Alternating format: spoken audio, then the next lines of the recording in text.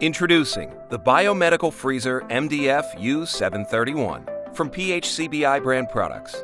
Designed for short or intermediate term storage of enzymes, vaccines, pharmaceutical products, and other biomedical materials.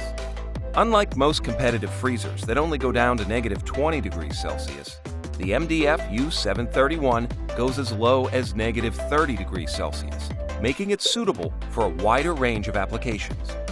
Whether the freezer is empty or full, MDF U731 is engineered for optimal airflow, offering excellent temperature uniformity, precise temperature control, swift temperature recovery after door openings, and has adjustable shelves. It also features a temperature sensor based automatic cycle defrost that occurs only when needed, rather than being activated after a certain period of time. Running the defrost cycle this way helps maintain product integrity over time. With its microprocessor control and alarm system, the MDF U731 provides preset audible and visual alarms if the power fails and the door is left ajar offering users peace of mind and helping reduce the operating costs. Plus, it is Energy Star certified, which results in lower energy costs for the facility.